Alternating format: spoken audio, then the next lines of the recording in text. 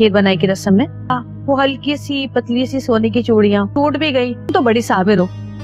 शुक्र है मैं तुम्हारी जैसी नहीं हूँ। तो तुम्हें कुछ ना भी देती ना तब भी तुम कुछ ना कहती। वालेकुम नाजरीन, ड्रामा, सीरियल, मोहब्बत, सतरंगी के नेक्स्ट आने वाले एपिसोड बहुत ही ज़बरदस्त होते हुए नज़र आएँगे। आरिस एनी से कहता है, एक बात आप ये जान लें, मेरा और माजबीन का जो रिश्ता तय हुआ है, इसमें मैं आपका कोई भी अमल दखल बर्दाश्त नहीं करूँगा। जवाब में एनी कहती है तुम्हें ऐसा क्यों लगता है कि मैं तुम्हारी ज़िंदगी बर्बाद करने चली? मैं तो हमेशा से तुम्हारी खुशी चाहती आई हूँ, और अगर तुम्हारी खुशी माजबीन के साथ ही है तो मुझे क्या एतराज़ लेकिन अगर तुम्हारी माजबीन से शादी हो गई है तो इसका मतलब ये नहीं तुम अपनी बहन और कज़न को भूल जाओ। जवाब में माजबीन एनी से कहती है, हारिस की ज़िम्मेदारी नहीं है कि वो आपका और आपकी कदर का ख्याल रखे। जब तक मैं इस घर में नहीं थी तो तब तक समझ आ रही थी, अब मेरी हारिस से शादी हो गई है और ये सब मैं बिल्कुल भी बर्दाश्त नहीं कर सकती। हारिस जितना आप लोगों से दूर रहेगा, हमारे रिलेशन के लिए उतना ही अच्छा होगा, क्योंकि मुझे आपसे और टीना से बिल्कुल भी हमदर्दी की उम्मीद नहीं है। क्या अच्छा लगा, क्या बुरा लगा? कमेंट सेक्शन में अपनी कीमती राय से ज़रूर लगा करें।